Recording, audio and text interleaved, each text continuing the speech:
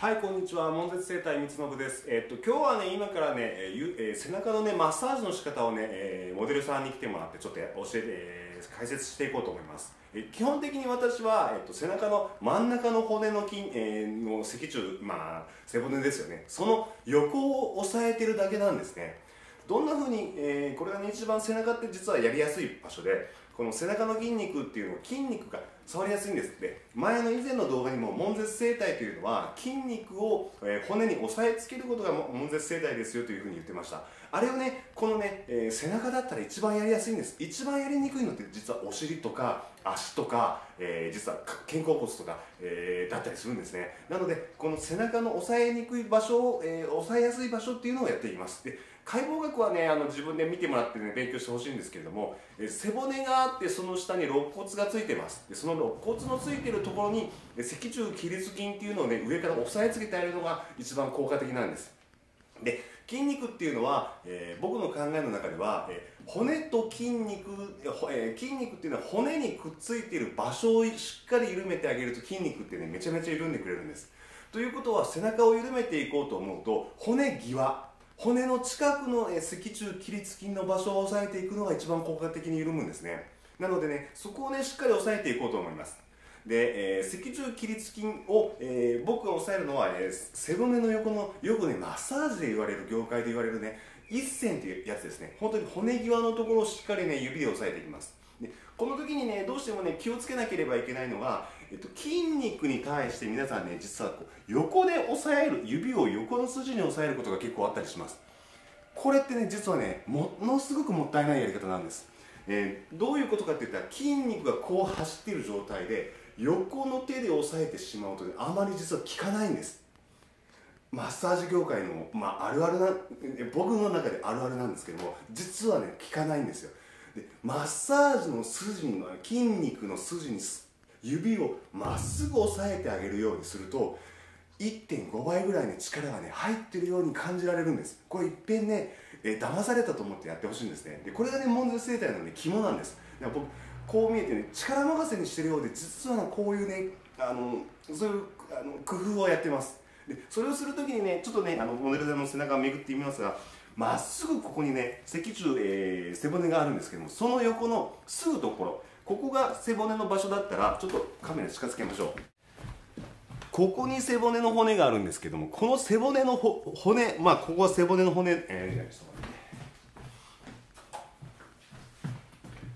ここが背骨の骨だった場合はこのまっすぐ横すぐ横をこう押さえるのではなくてこう押さえていきます。でこうすることによって筋肉ってこういう筋で走っているのでその筋のところのこの本当に筋肉の盛り上がりのではないその内側で骨の当たる横側このね微妙なラインの一線をしっかり押さえていきます。でしっかり押さえ込んでいってあげると骨がね当たるんですね。今ねあのもうマッサージ緩めた後の状態のモデルさんなのでそこまで痛がりませんけれどもえっ、とここをどういうふうに押さえていくかっていうと私の場合は指で片指で上からここをこういうふうな形で骨に沿って指をこういうふうに押さえていきます。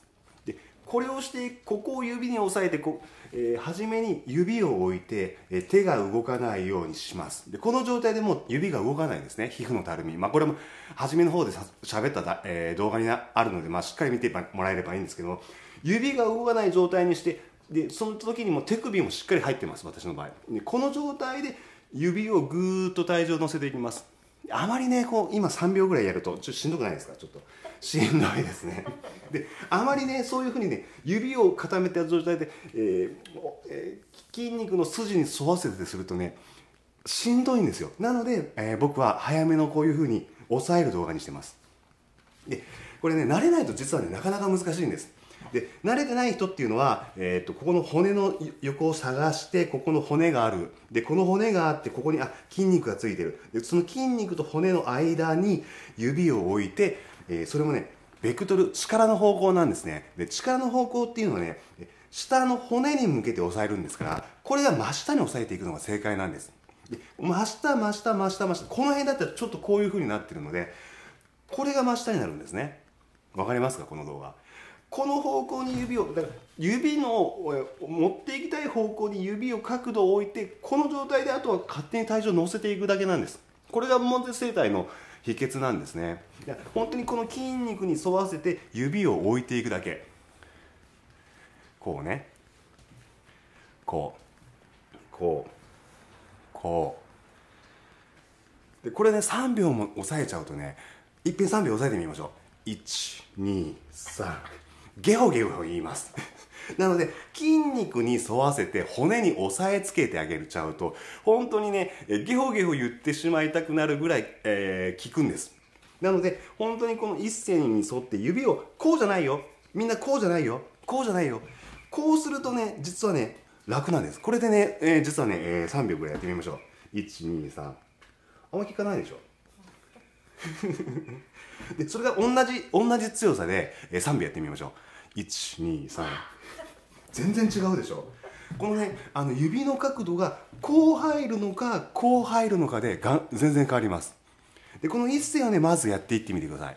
で私この一線をずっと上から下まで、えー、っと2回ぐらいかな、えー、こなしていくのは背中のやり方です。本当にね背中が一番練習しやすい。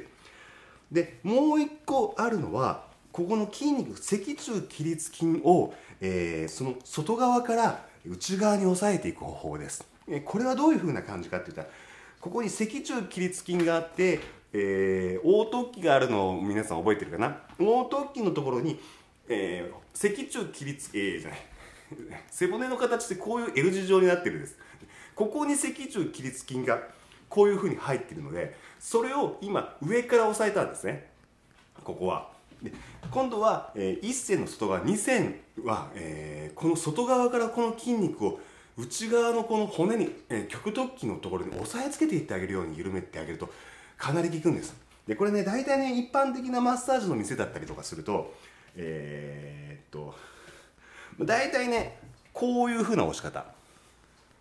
指2本で筋肉に沿わせながら横から押さえるの。これだったらね実は押さえやすいからね実は効きにくいんですよ。これあんまり聞いてないでしょ？あめちゃめちゃうなずかれてる。私はめちゃめちゃそれでも聞かせれるけどね。よりかはここに脊柱起立筋っていうのがあったあってこれをこの、えー、極突起のところに押さえつけてあげるとかなり効果的にきます。じゃあ今からねやってみましょう。でここの脊柱起立筋、えー、極突起のところに脊柱起立筋があってそれを内側に押さえ込む。こんな感じ。でこれがねほら3秒ぐらいですと痛いって言うんですよ。なので1秒ぐらいでこう1秒ぐらいでするっていうのは一生懸命力を乗せてあげるとかなり効果的に効いてくれます。なのでね早めなんですね。これ3秒。ひどい人だ。そんな感じでさせてもらってます。でなので僕の悶絶生態的にはこの筋肉の筋に何回も言いますよこれ大事なことなので。筋肉の筋に指の方向をしっかり沿わしてそれに力を真下に乗せてあげるだけ。内側こっち側だったらえここに、えー、骨があるので骨のところに斜め45度でベクトルの力を入れてあげてこういうふうに押さえてあげるとめちゃめちゃ効きます。これが実は悶絶生態の秘訣だったり秘密だったりします。これ真下に押さえてるように思ってるけれども実はこう斜め45度の方向に内側に押さえ込んじゃってるんですね。でなんでこんなことになったかって言ったら昔はここの脊柱起立筋の筋肉に対して、えー、横で指で真下に押さえてたんです。でこれ逃げるんですよこコリコリと。でこのコリコリ逃げるのと実は受けてる側もやってる側もね実は効果があんまないのね。さっき言ったように骨の内側のえ骨の付け根のところを筋肉をしっかり緩めてあげる方がやっぱり効果的にいくんです。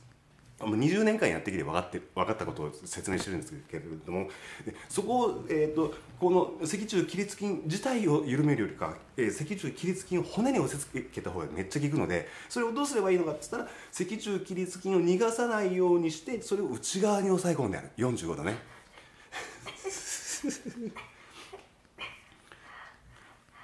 でこれはね、え、僕僕は片手でやってますけども基本的にね一人でね片手でできる人っていうのはある程度指ができてる人しかできません。で僕のマサともう一人弟子いるんですけどもあいつも、えっと、指で2本でやってるのなんでかってやっぱ指圧がちょっと足らないからね。こうやって指2本でするときはこういうふうにしていきます。で、えーと、詳しい説明がしたのでまたこれでわからないことがあればコメント書いといてくればいいんですけどあと体の姿勢そっちをねちょっとね撮影していきましょう。今ね指元の説明したんですけれども実はね指にやっていく以上にねとっても大切なことっていうのは体の使い方なんです。まあ俺もそんなの勉強したよ三つって言われるかもしれませんがえっとねこっちから分かる。かなこれぐらいかな。まずね背中のこの筋っていうのはえっとこちら側頭側から乗っていきます。で他の動画でも説明しましたけれども指を押さえて指の位置とへその位置はまっすぐ。ね、であとこの距離が広すぎてもダメなんです。この距離が広すぎても押さえこれで押さえても押さえにくいし近すぎても押さえにくかったりします。自分のベストなポジショニング。大体ね人一歩足先を伸ばしたあたりぐらいが一番押さえやすいんですけどもそこを見つけてあげるのがまず秘訣。でその場所が決まったらそこを絶対キープして押していくことです。僕なんかだったらこの距離感指を無理なく指を伸ばして伸ばし、えー、押さえていく。これぐらいの距離感をずっと保っていきます。見てみてください。ここをここを押さえていってここをここを押さえていって僕のほらこの距離感大体おへその位置とまっすぐですよね。で指を変えたとしても大体おへその位置に自分がいる。これはねここからこうやって押さえてるだけだったらしんどいだけなんですよ。全くいきません。なので距離感をずっとキープしながら押していくことです。これね、えー、一線のさっき言ったね骨の横のところを押さえるやり方。反対側になってもね自分の位置があまり変わりません。押さえやすい場所に自分が動いていくから。これがねダメな人ってねこういうところからやってる人とかえー、あとねこういうところからやってる人っていうのは力が入りにくいです。なのでこ,、まあ、これ見てやってるかもしれないっていう人はちょっと、えー、自分の中でね自分の動画を撮影してみて、えー、見てみてください。真下にね今ねさっき言ったね、えー、極突起の横のねあのところに、えー、脊柱起立筋を押さえつけてますからこれ。さっきやったばかりなんだけどねまだまだ硬いわ。出てきた。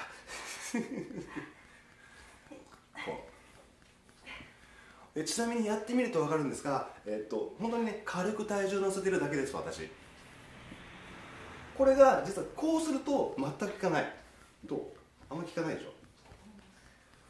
こう。ちょっとした指の置き方なんです実は。分かりましたか、えー、でねこんな感じがね背中の押さえ方です。でこれを見て参考にできることがあればそれを見て参考にしていただければ。でこれがね外側から押さえる時っていうのは、えーと、こう、えー、片手でする時はこうなんだけども慣れてるとこう、まあ、どんなどんな方向でもできるっちゃうんだけども基本的にこう斜め45の方向を向かいながら指を押さえてぐーっと押さえる。こんな感じがやりやすい方法。めっちゃ効いてるでしょ？